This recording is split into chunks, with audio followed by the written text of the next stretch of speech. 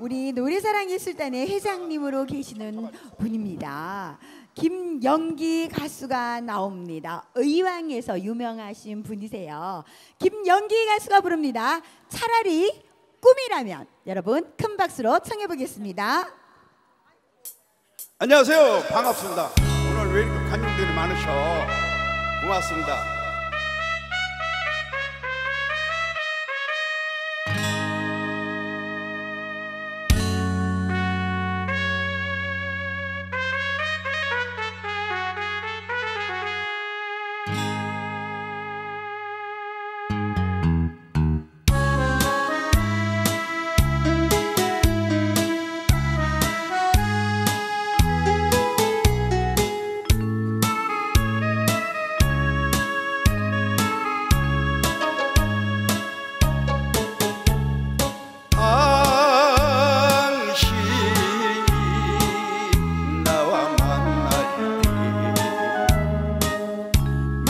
맹세하던 그 사랑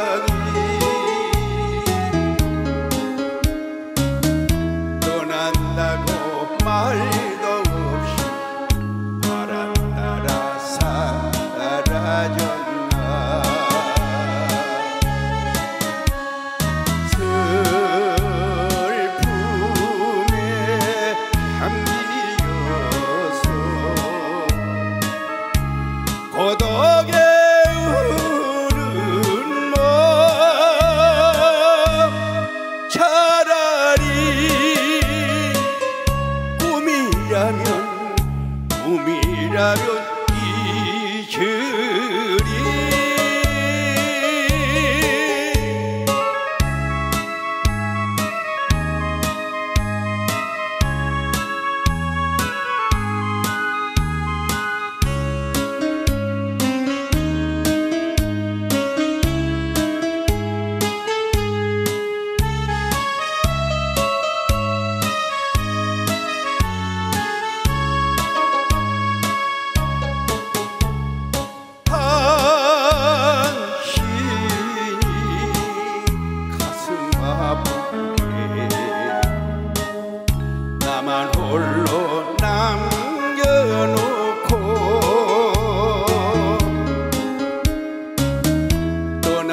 떠난다고 말도 없이 구름 따라 사라졌나. 슬픔에 잠기어서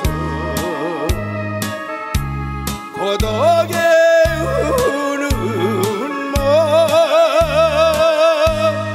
차라리 꿈이라면 꿈이라면 잊으리